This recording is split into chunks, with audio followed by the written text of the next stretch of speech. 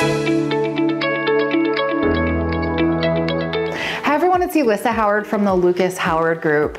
As you know, the Lucas Howard Group loves to make an impact in the community and give back. So this Thanksgiving, we are gonna have a drop off. So we will be a drop off location for Feeding America. Go ahead and bring your perishable or canned good items so we can bring food to people who are less fortunate this Thanksgiving. We look forward to being a drop off at 4804 Cascade Road. Again, the Lucas Howard Group. Thanks again for helping us help the community.